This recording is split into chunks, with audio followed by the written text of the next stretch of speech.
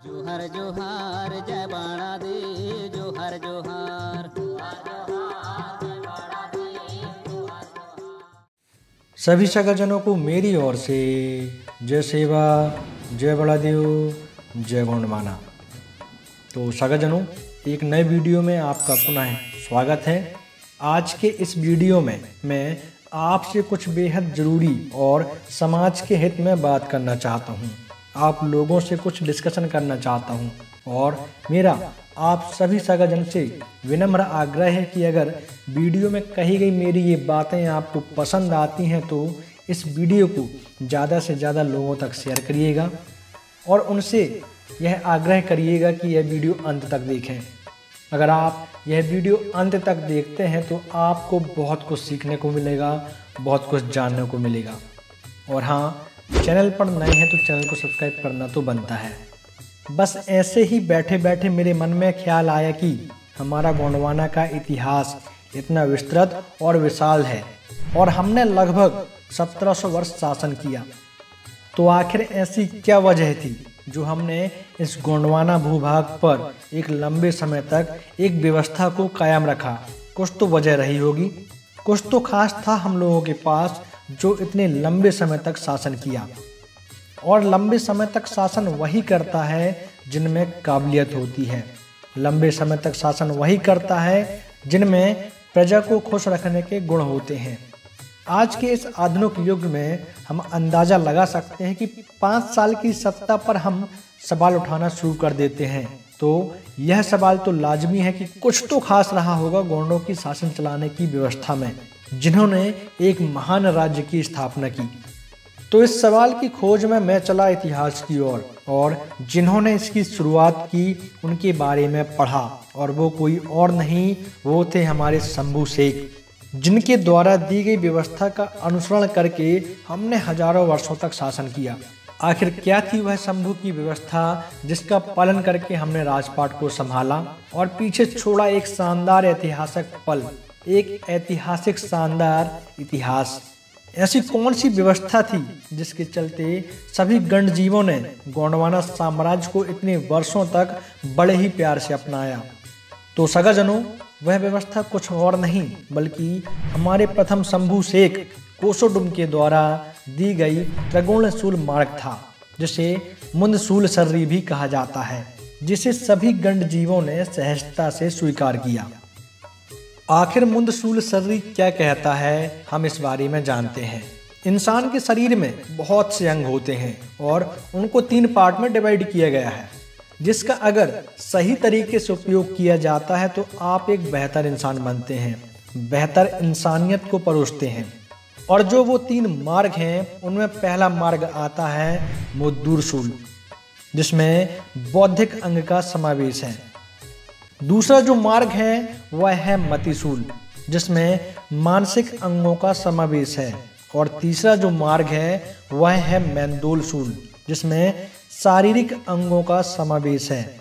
इन तीनों अंगों का बेहतर तरीके से इस्तेमाल करके आप राजपाट चला सकते हैं।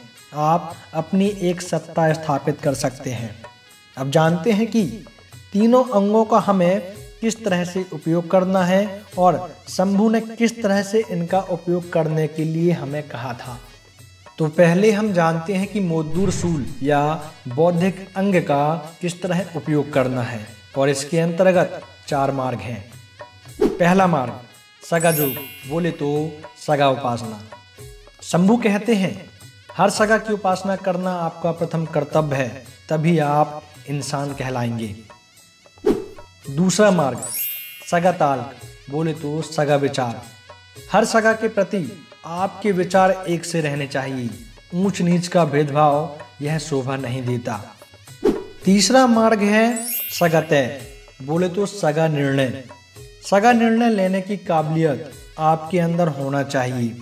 किन परिस्थितियों में क्या सही है और क्या गलत, यह परखना आपको आना ही चाहिए। चौथा मार्ग, सगा मोद। बोले तो सगा ज्ञान। सगा के प्रति ज्ञान का आदान प्रदान करना अति उत्तम कार्य है इससे समाज को एक बेहतर दिशा मिलती है। अब आते हैं मतिसूल या मानसिक अंग को किस तरह से उपयोग करना है और इसके अंतर्गत भी चार मार्ग हैं। पहला मार्ग, सगा मांड, बोले तो सगा प्रेम।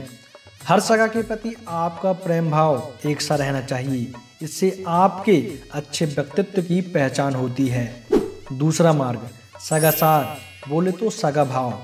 हर सगा के प्रति आपका भाव एक सा होना चाहिए। किसी भी तरह की ऊंच नीच की भावना आपको शोभा नहीं देती है। तीसरा मार्ग, सगा झूठ, बोले तो सगा एकता। एकता ही ताकत की पहचान होती है। आप सभी सगा को एक धागे में गुथ कर रहना चाहिए। बुरा वक्त आने पर एक साथ मिलकर आवाज़ उठाना चाहिए। चौथा जो मार्ग है, वह है सगा सेवा भाव। शंभू कहते हैं, सेवा भाव रहना आपके इंसान होने का प्रमाण देता है। हर सगा की सेवा, प्राणी की सेवा, धरती की सेवा, इस संसार में उपस्थित उन सभी समस्त चीज़ों की सेवा जो इस जहाँ में है, आपको करना ही चाहिए। अब जानते हैं कि मैंदोल सूल या शारीरिक अंग का किस तरह से उपयोग करना है और इसके अंतर्गत भी चार मार्ग आते हैं।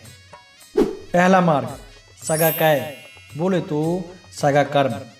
हर सगा का कर्तव्य है कि वह नेक कर्म करे। समाज में एक अलग छवि प्रस्तुत करे। अपने कर्म से एक अलग वर्चस्व कायम करे।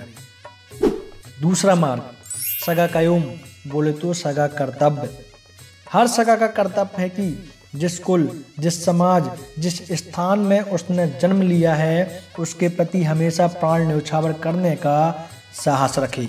उसे आगे बढ़ाते रहने के लिए हमेशा तैयार रहे। तीसरा मार्ग सगावंक बोले तो सगावाणी आपकी वाणी आपकी आत्मीयता की पहचान है। इससे आपके व्यक्तित्व का पता चलता है। इसका हमेशा सदुपयोग करें। सही इस्तेमाल करें। चौथा मार्ग सगानिंगा बोले तो सगा दृष्टि। हर सगा के प्रति आपकी दृष्टि सही होनी चाहिए। किसी भी सगा की समस्या में समाधान करना, कठिन समय में खड़े होना आपका प्रथम कर्तव्य है।